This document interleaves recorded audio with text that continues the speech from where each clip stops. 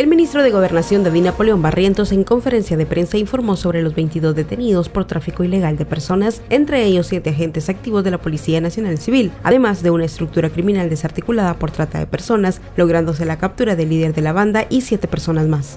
Las investigaciones irán determinando la responsabilidad. Ellos facilitaban, eh, contribuían con la estructura al paso hacia México principalmente.